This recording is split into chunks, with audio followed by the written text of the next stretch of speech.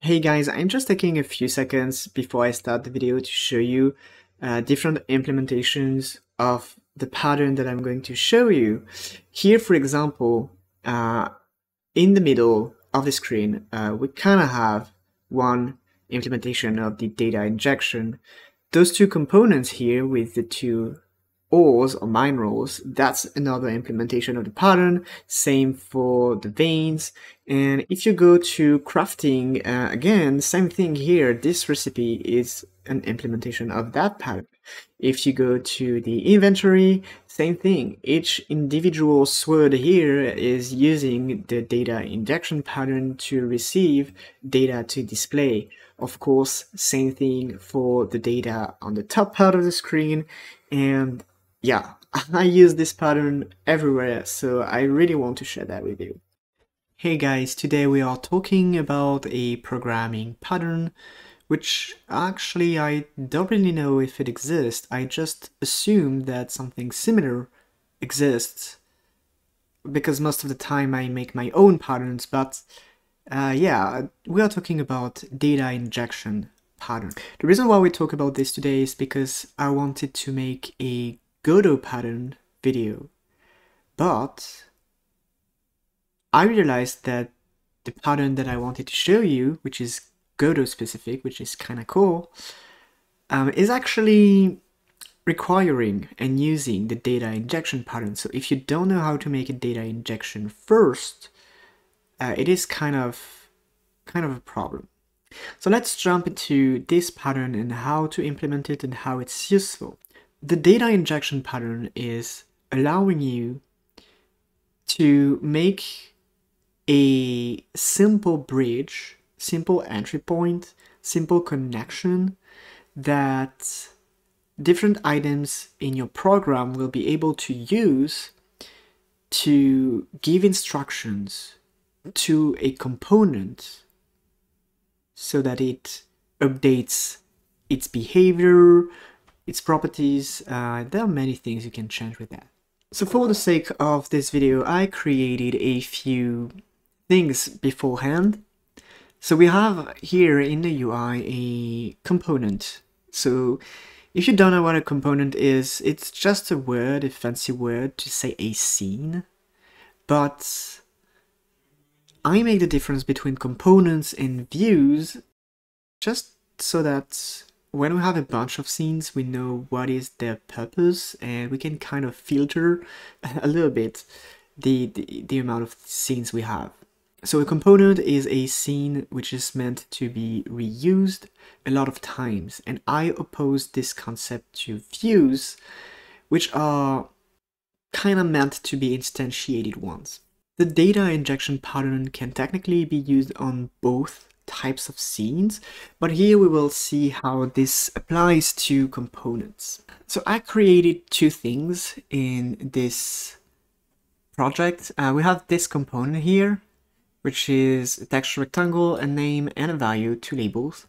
And also I created a database for items. So I defined an item resource with a name, a texture path, a value, and a key. And then I created a simple database which initializes when you call on this function, which is public. So here uh, we have the default values of this component. And what we want is to be able to say, component, please display the value of this item, which is an emerald with this texture and this specific value. In order to achieve this, we have different ways to approach in the sense that you can make the things in a different order. It will not matter very much. Here, uh, I will start just by scripting the different properties, the different nodes, because right now they're, they're static and hard-coded. So we're going to create a script to change these nodes. So here we're just creating a, a simple class for this component and it is actually quite important to give it a name because when you want another object in your program to be able to inject data in this component, uh, having a class name is very useful.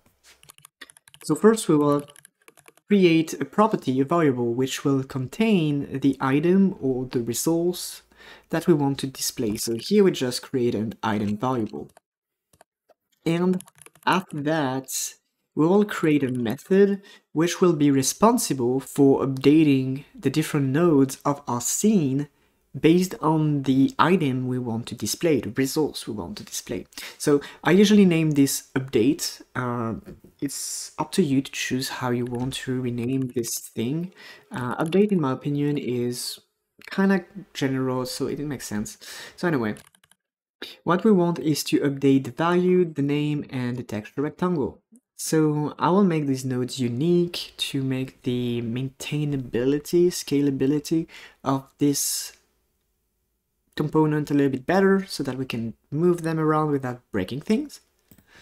And now what I want to do is to apply the values. So the texture rectangle, which is going to be a texture rect, uh, we want to set its texture.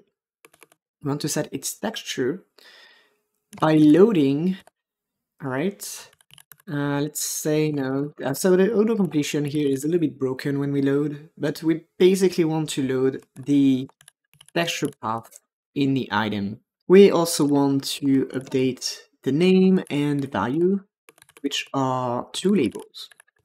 And here we just want to change the text to the item name. And for the second one, we just want to change the value to the value in the item item value. For the value, I'm adding a little bit of text to contextualize the information. And there we go, item value. So right there, this is the fastest, easiest way to implement this texture updating, etc. But uh, it is very likely that you may want to have some safety nets. For example, you never know if you may have this function being called with an empty item, empty resource. So you may choose to say that, all right, we're going to check if the item is different than null. So if it is not null, we will do this thing right there. And else, if it is null, uh, we will use default values. So these values, we are gonna load right there the cat box. So we're gonna copy the UID, link this, and we're gonna say that the name is box and the value is uh, not node. Like this. This way, if we receive a broken item, we have we have this. Of course, we are not safe, uh, fully safe yet, because one part of the item could be missing. For example, let's say that you have a broken item, you have the texture, you don't have the name, but you have the value.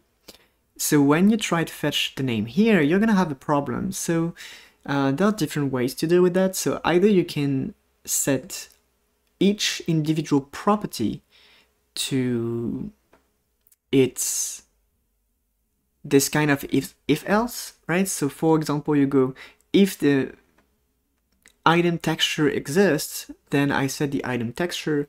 Otherwise i will use this default one. And you can do this for every property. Another way for example would be to have a check on your item, which checks the integrity of the item.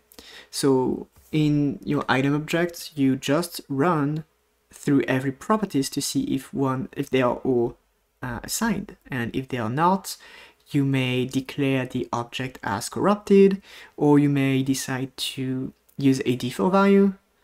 That's up to you to choose this kind of things. So anyway, I think that's enough of the update of the textures yet and the properties. And now we'll think about the actual data injection. So injecting data is as easy basically as changing this value here, this item and set the item. But just changing this property doesn't trigger the update function. which is why we're going to use a specific function to receive the data and then do all the necessary actions in this component uh, after we have received data. So you can use getters and setters if this is something you really enjoy, but here we're going to use a full method. For the name, again, it's really up to you and, uh, well, you choose the one that makes the most sense for you. It could be set data, it could be set item, it could be inject item, it could be inject data. Here I'm gonna stay kind of neutral and say that it's gonna be inject data, and then we'll take an item data as an argument. So I will implement an error just to show you how to use errors here. So by default, it's gonna return okay when everything's fine. But first, uh, we want to check that the item is existing. So we're going to check that if item is not null. So we're going to nullify this if the item, well, actually, no, we're going to, here we are looking for errors. So if the item is null, uh, we're going to return fail. And we are not going to update this component. Okay, so now we have an object which is not null, and maybe we have checked the integrity, we could check this here, but anyway, we just want the private item in the class properties to take the value of the item we have received in the data injection. Here, after we have received the data, we update the component to show the updated properties. Alright, so from the this component is able to receive data but the question is, how do you send data in? So you have different ways to do that, and yeah, it's up to you to be creative and to find how to have your different objects communicate with each other. And here we will see some very basic ways to implement the data without having another object in the game responsible for injecting the data, and we will just use the Godot inspector scene tree to do that. So first let's try to see how we can inject the data just by hard coding this in the script. So just to see the difference, we're gonna run the game uh, right now to see that, yeah, we rerun the game and we have this box with an, an unknown value. We will go in our script and when we are ready, we are gonna create an item here. And this item can either be one which we create manually by saying that we're creating a new item and setting every property one by one. Uh, let's actually go in the database and copy uh, this, for example. Now, we have a cat here, so let's copy this. Here we have the item. We set all the informations uh, we have the key, so it's an enum from item. We just have to specify where the enum comes from. And there we go. After that, we can inject the data and the item. So if we do rerun the game, we indeed have a not dead cat. So that is, that is one way. Another way here would be, for example, to read uh, the database. So the item could be equal to, well, item dot dictionary and item enum we want to see uh, dead cat for example. First uh, we have to initialize this database because usually you have this done at the start of the script i mean of the game but we don't really have a game here so we have to do that here. We initialize the database. We read the dead cat from there and we do have a dead cat in the box. So this is fun and all, but the problem is that uh, the script is attached to this component and it's not really reusable, if we can say that. So what we can do is, for example, have something different. We could export, well, not really the item, but we could export the variable, which would be the item key. All right. So we go to eitem.enum and we actually want to set this variable here. And what we do is that we want to inject data and the data we want to inject is item.dictionary of item key. And of course, we want to initialize the dictionary here. Okay, so now that it is saved, we, we are able to choose what is the item that we want to display. So we can rerun the scene and we'll see that we have a sapphire here. Now let's actually think about a situation where you have different instances of this component. So let's create another scene, which is going just to be a test view for, uh, you're going to say UI item test view. So in there, what I will do is just set a vertical box at the center of my screen, and I will initialize our UI item component twice in there. So we're going to put it twice, one, two, and we actually are able to change what we are displaying. So we'll display the sapphire and the emerald in the first one. So we can run the game and see that we indeed have the emerald and the sapphire in two different components. So from there you can instantiate this component as many times as you wish and all you have to do is to change the data which is set in. So that's pretty much it. We're kind of done with explaining this component in a situation where you're not relying on external objects to inject the data and use either the editor or the ready function. But anyway, patterns are not uh, something that are static. It is very important for you to be creative, to use those patterns in ways which are useful for you. Uh, be creative. Use the flexibility of programming, all the flexibility it offers you, and that will allow you to create some very cool thing. Don't be afraid of creating your own patterns, of taking a pattern which already exists and twist it to fit to what you like to do. Anyway, uh, I will see you later for another pattern, which is the first Godot pattern that we will talk about, which is the list pattern, where we will be using this data injection and we will see how we can maintain lists of components by using the Godot features. I hope you did enjoy this and that this will be useful for your programs and your games. If that was a little bit too cryptic, please say that in the comment because I'm sometimes not realizing that I'm skipping some steps.